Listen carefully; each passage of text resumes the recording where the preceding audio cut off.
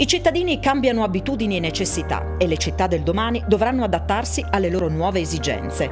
Da un lato l'innovazione tecnologica sta influenzando il nostro modo di vivere e lavorare, dall'altro il Covid-19 ha fatto emergere una serie di fragilità del modello di città del presente che potrebbero influenzare le evoluzioni future.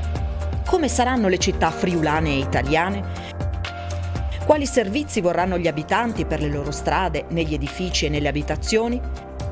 Il modello friulano, in cui la provincia è preponderante e con una sua vitalità, come reagirà in questo contesto di trasformazione?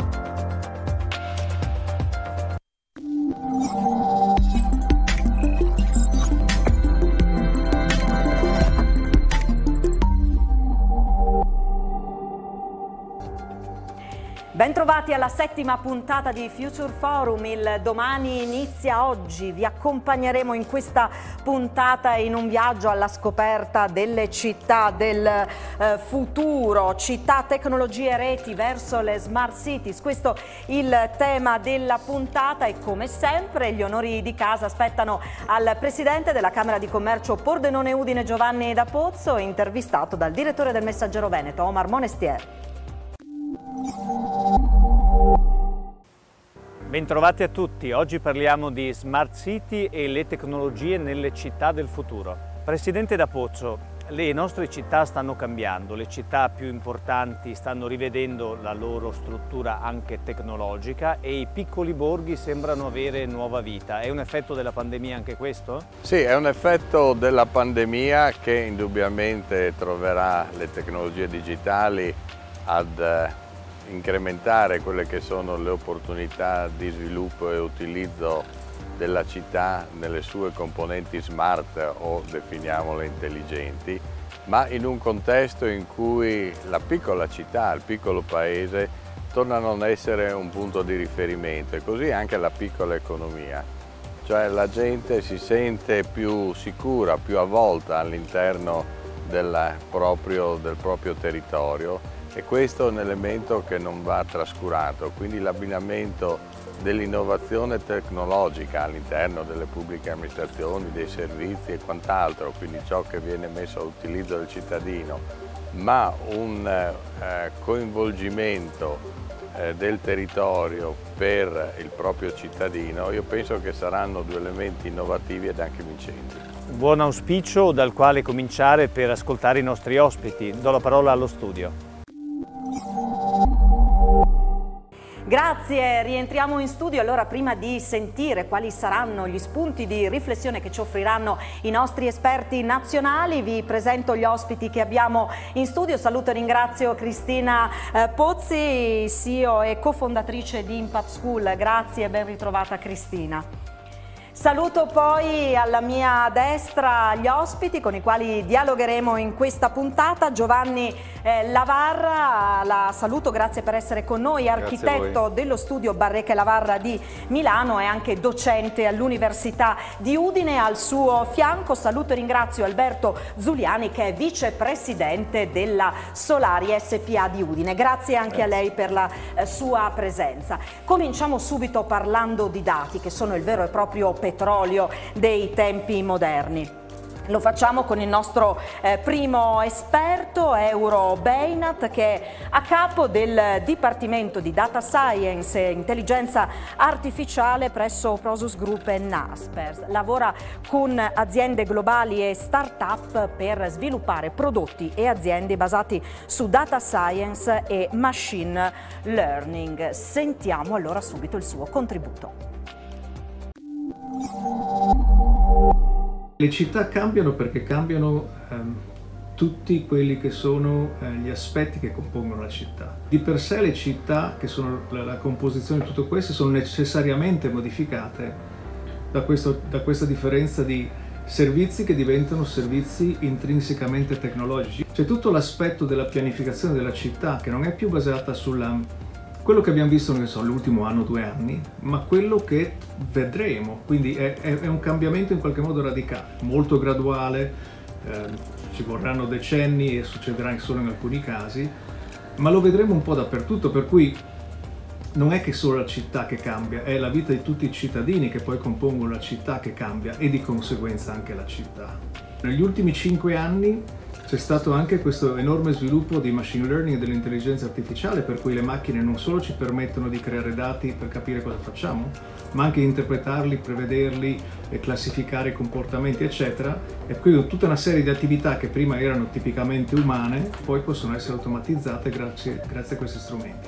E questo siamo solo all'inizio, nel senso che abbiamo appena appena visto quello che è possibile fare.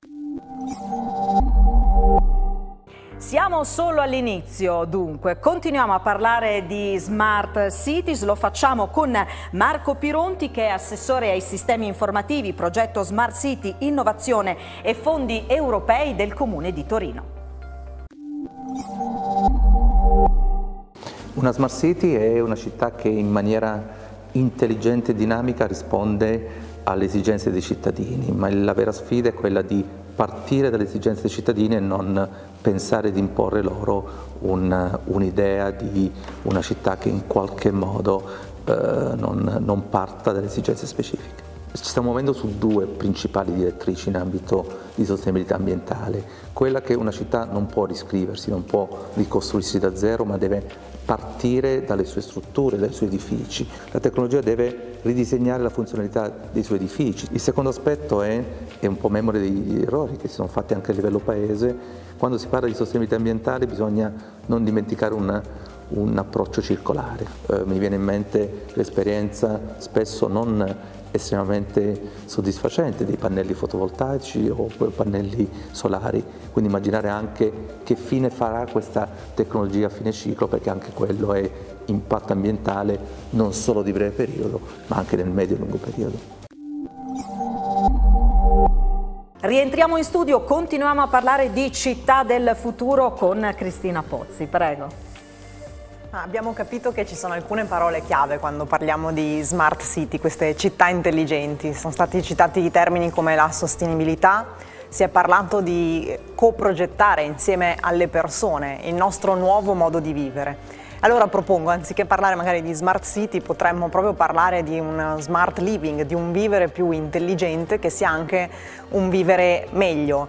Eh, le smart city ci danno questa possibilità, cambiare la vita dei cittadini in modo che sia più sostenibile, che sia in qualche modo anche più efficiente, ma non è solo questo, sia proprio migliore, perché tutte queste applicazioni ci permettono anche di vivere una vita più salutare, visto che la città in questo senso riesce a rispettare meglio l'ambiente e a utilizzare molto meglio le sue fonti di energia.